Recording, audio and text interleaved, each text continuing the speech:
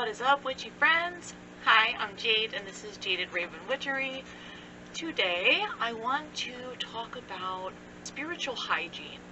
Different methods of cleansing and clearing using all four elements. Some of the things that need to be thought about for spiritual hygiene is keeping yourself and your aura cleansed from other people's energies. Empathic people a lot of times, or anyone in general really, can pick up the energies off of other people, but empathic people specifically have to be careful and, you know, take the time to really cleanse your energy. There are several ways that you can do this. Spring water is actually a great cleanser, spring water, and you can consecrate the spring water. Another good option is salt of any kind. Sea salt is best, of course.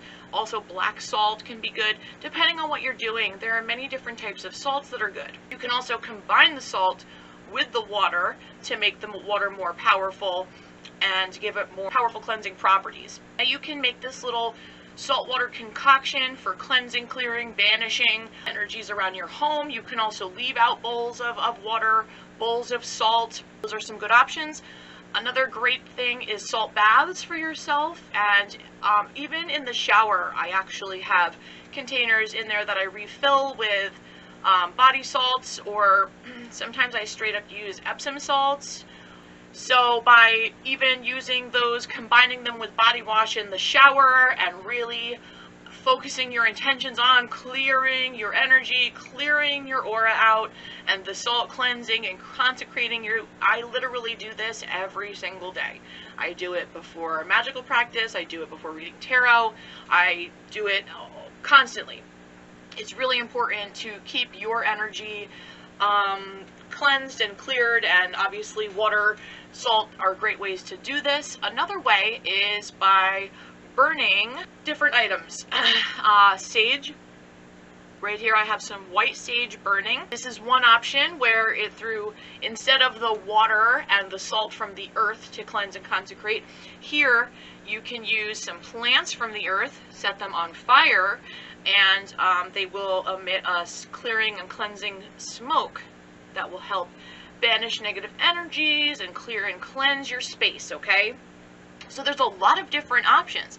You can use white sage, blue sage, um, black sage, which is also known as mugwort. You can use lavender. You can use sweetgrass. You can use palo santo. There are all different types of incenses, frankincense and myrrh. There's so many options that you can use. They can all be used to cleanse, consecrate, and banish. Another great option with the salt is with the salt you can combine all different herbs and items that um, will enhance the salt even more towards, you know, whatever cleansing, banishing, or protective properties you want to imbue it with.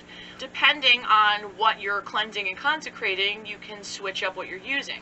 You can use water and salt and smoke on yourself, but for things like tarot and oracle cards, it's probably best to use the smoke of some type of sage, Palo Santo, basically whatever you choose. They're all going to cleanse the cards appropriately. Another great option that I employ from time to time is salt. I will use a bag and I will fill it with different cleansing and consecration salts. And I will put my decks in there and one by one shake them and allow the salt to absorb and clear all the energies off of each deck. It can be quite time consuming, which is why I do try to just clear them and use the sage smoke on a very regular basis. But every now and then I do have to, to do that. I've had to do it, I think, once in the past year so far, as well as constant saging and smudging.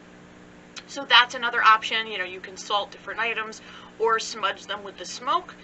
And these are common ways to also consecrate and cleanse your, your space, your uh, working tools, different decks of cards, anything that you uh, feel has either negative energy attached to it or you want to clear the energy attached to it. All things carry like energy imprints or signatures to them. And if you want to just kind of have a fresh start, it's best to, you know, simply sage and smudge or you can cleanse with water.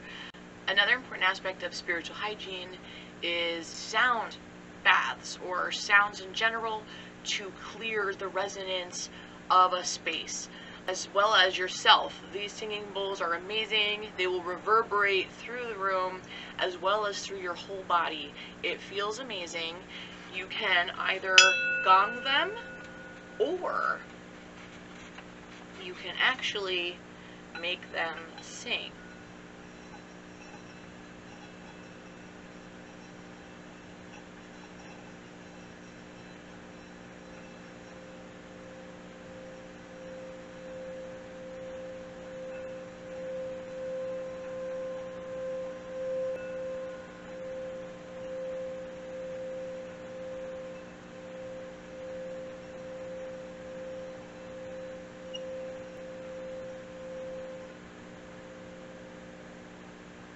And there you have it. You can sing the bowls, or you can, I prefer to sing them with just a plain wooden thing with a nice little lip like this. I don't know if you can see that. And I prefer to gong them with one that is padded. It just sounds better than hitting it with the wood. You can hear like the chime of like the chip of the wood on it. It's way better to gong it with a muffled one and sing it with a pure wood one in my opinion. Well, actually, that didn't gong it bad. Keep in mind, sound baths or resonance be cleared with certain sounds as well, and it can affect your body and your energies, your chakras, your aura, all of that, okay? It's best to know a lot of options and how you can vary them and mix and match depending on what you're specifically doing. So these are just some simple basic options for spiritual hygiene. Make sure you are cleansing and salting and saging and smudging. So these are some different examples of all different sage and smudge sticks and bundle. So this is white sage. It has, a, this is bulk in a big jar, and here it is bound in a smudge stick. White sage normally has very large, kind of white looking leaves. It has a distinct odor and you can get it bundled or in bulk. It can be broken up as well. So that is white sage. Blue sage or cedar sage looks a little different. It's like a deeper green and they almost look like little, like they're little bundles of like cedar. And that's more for calming, comforting, it can purify, protect. White sage, again, can cleanse, balance, banish negativity. It's also good for strength. We have Yerba Santa. This big sage bundle I have of Yerba Santa. This is another option that could be used specifically for certain types of rituals and purposes. I also have, I have a lavender and a mugwort, which is also known as black sage, but it's just kind of like a dark brown in appearance. See, there's the lavender, it's purple. I probably should take them out. The lavender bundle. And this is mugwort. Again, you can also get mugwort loose. So these are also things that can be burned for cleansing and um, consecration to clear the energy basically any type of smudge stick can be used.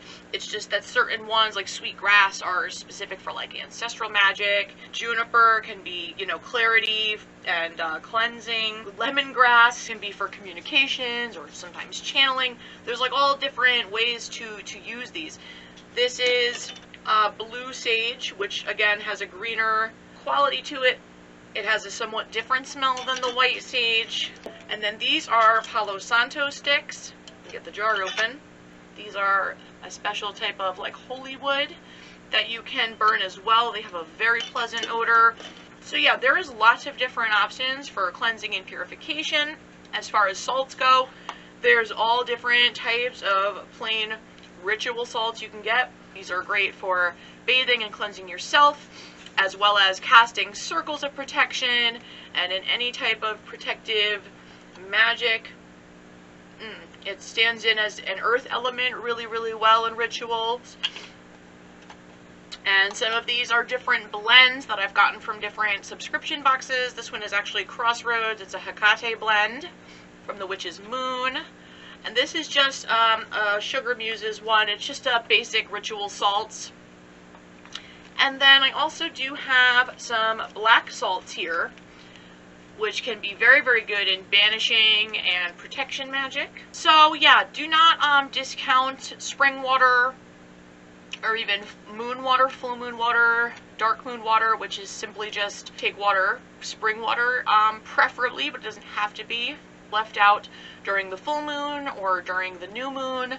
And um, then these can be used for either lighter magic, darker magic, different ent energies and entities. Full and new moon waters can also be used for cleansing, consecration, banishment, um, as well as in a multitude of other uh, magic. Spring water and water in gener general can be very powerful depending on how you choose to charge it and what you choose to do with it.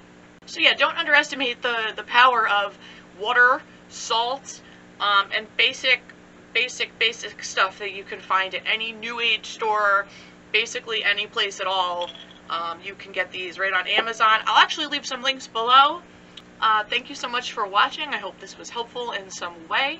As always, like, share, comment, subscribe. I appreciate it so, so much, and I hope to see you guys back. Alright, much love to you all. Bye.